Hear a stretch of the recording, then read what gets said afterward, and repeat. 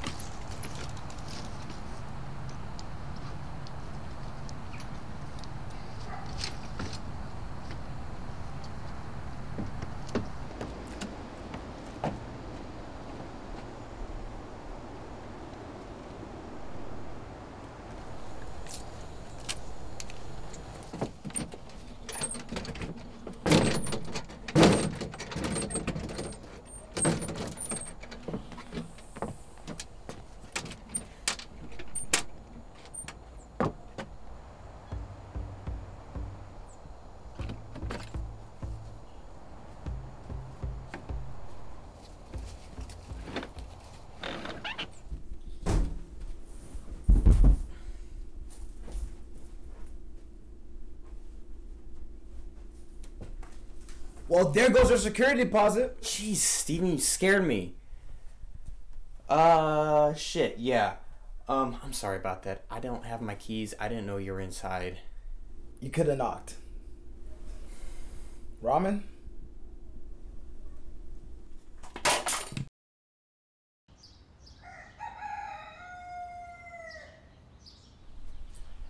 Hey, I hate being that guy, but don't you think it's about time to stop letting this person torment you? I know you're a pacifist and all, but you're a grown man. You need to stand up for yourself. Can I ask you specifically what they've done to you? I just feel like if you talk about it, it may help you. Well, it's just like every time I see them in the hallway, you know, they're glaring me down. And get this, the other day, when I was walking through the hallway, they fucking bumped into me so hard I fell. I dropped all my books. It's just, it's little stuff like that, you know, man. Look, I hate that it's affecting you so much still, man. Just relax. Yeah, yeah, you're, you're probably right. Okay, man, I gotta go get ready for the show. I'll see you there.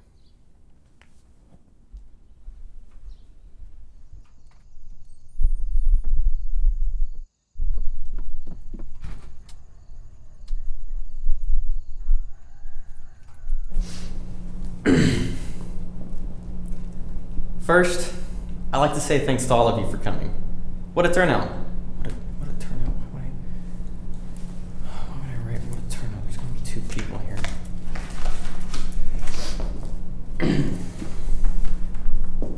I've always loved simplicity, but detail.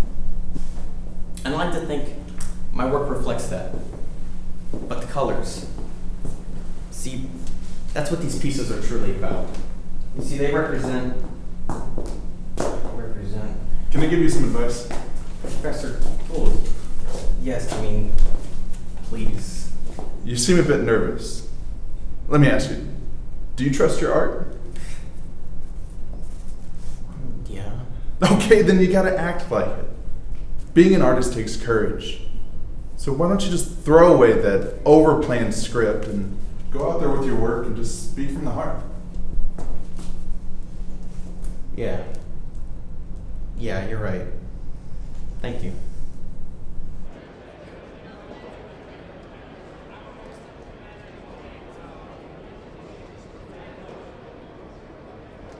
Good evening, everyone, and thank you so much for coming out tonight. Uh, let's take a couple minutes to introduce our artists for tonight.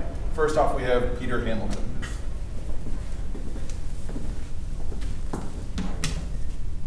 You know, I I had this whole boring speech planned out for this thing, explaining what my art is supposed to convey and what it's supposed to say.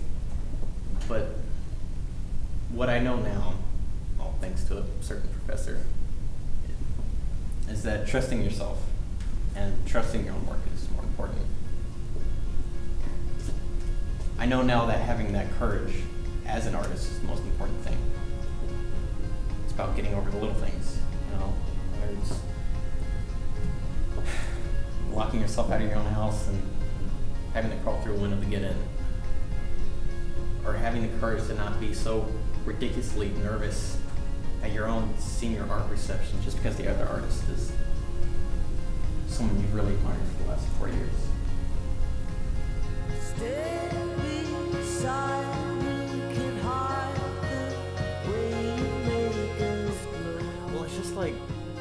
Every time I see them in the hallway, you know, they're glaring me down. And get this, the other day, when I was walking through the hallway, they fucking bumped into me so hard I fell. I dropped all my books. It's just, it's little stuff like that, you know, man.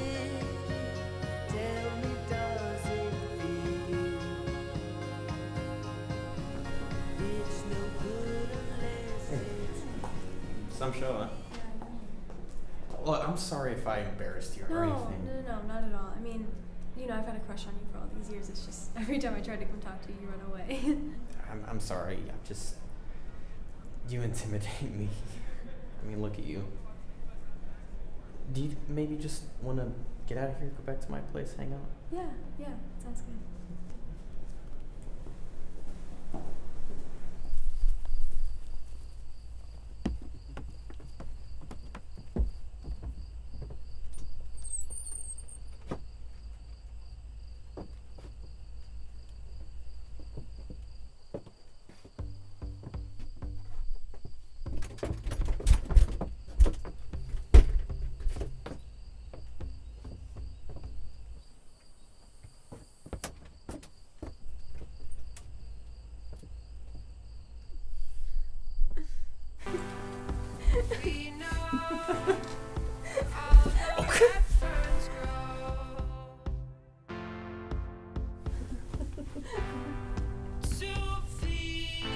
Dude, just seriously try knocking first next time. Hot pocket?